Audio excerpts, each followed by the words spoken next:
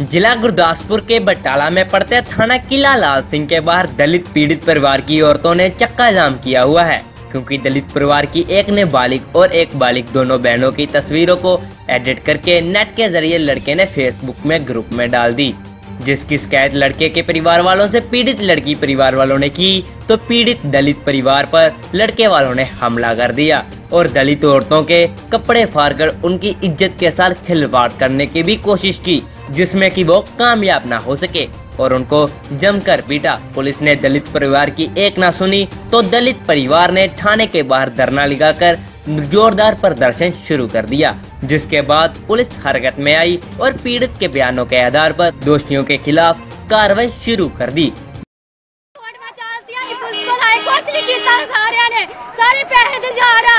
कोई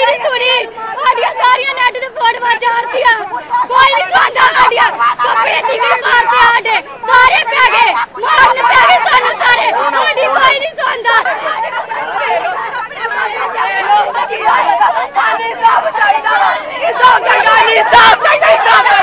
ਹੋ ਗਿਆ, ਪਹਿਲੇ ਸਾਡੀਆਂ WhatsApp ਤੇ, Facebook ਤੇ ਫੋਟੋਆਂ ਚਰਚ ਤੇ ਬੈਠੇ, ਸਾਰਿਆਂ ਨੇ ਖਿੱਚੀਆਂ। ਖਿੱਚ ਕੇ ਉਹਨਾਂ ਬਿੱਟੂ ਨਾਮ ਆ ਜਿਹਨੇ ਆਪਣੇ Facebook ਤੇ ਪਾਈਆਂ। Facebook ਤੋਂ ਮੁੜ ਕੇ ਉਹਨਾਂ ਅਟੈਚ ਕਰਕੇ ਕ੍ਰੋਪ ਕਰਕੇ ਰਾਹੁਲ ਨਾਮ ਆ।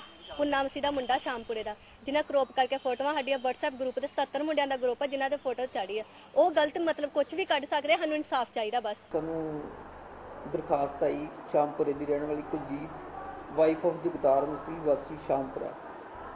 ਇਹਨੇ ਸਾਨੂੰ ਦਰਖਾਸਤ ਦਿੱਤੀ ਕਿ ਸਾਡਾ ਜਿਹੜਾ ਪਿੰਡ ਦੇ ਲੜਕੇ ਆ, ਉਹਨਾਂ ਨਾਲ ਕੋਈ ਝਗੜਾ ਹੋਇਆ ਹੈ ਤੇ ਉਹਨਾਂ ਨੇ ਸਾਨੂੰ ਕੁੱਟਿਆ ਅਸੀਂ ਜਿਹੜਾ ਮੌਕੇ ਤੇ ਗਏ ਆ ਮੌਕੇ ਤੇ ਜਿਹੜੀ ਸ਼ਿਕਾਇਤ ਕਰਤਾ ਧਿਰ ਹੈ, ਉਹ ਸਾਨੂੰ ਮਿਲੀ ਨਹੀਂ ਪਿੰਡ।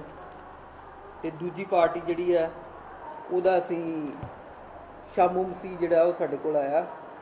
ਤੇ ਜਿਹੜੀ ਸ਼ਿਕਾਇਤ ਕਰਤਾ ਧਿਰ ਸੀ, ਇਹਦੇ ਵੱਲੋਂ ਅਸੀਂ ਜਿਹੜੀ ਕੁਲਜੀਤ ਹੈ ਸ਼ਿਕਾਇਤਕਰਤਾ ਇਹਨੂੰ ਬੁਲਾਇਆ ਤੇ ਇਹਨਾਂ ਨੇ ਸਾਡੇ ਕੋਲ ਆਉਣ ਤੋਂ ਪਹਿਲਾਂ ਹੀ ਜਿਹੜਾ ਇਹ ਉੱਥੇ ਸੜਕ ਤੇ ਬੈਠ ਗਏ ਆ ਤੇ ਜਿਨ੍ਹਾਂ ਨੂੰ ਅਸੀਂ ਕਿਹਾ ਕਿ ਜੋ ਵੀ ਤੁਹਾਡੀ ਕਾਰਵਾਈ ਬਣਦੀ ਹੈ ਆਪਣੇ ਬਿਆਨ ਦਰਜ ਕਰਵਾਓ ਤੇ ਉਸ ਅਕੋਰਡਿੰਗਲੀ ਤੁਹਾਡੀ ਕਾਰਵਾਈ ਕੀਤੀ ਜਾਏਗੀ बटाला से सुखबीर सोखी जीवे पंजाब के लिए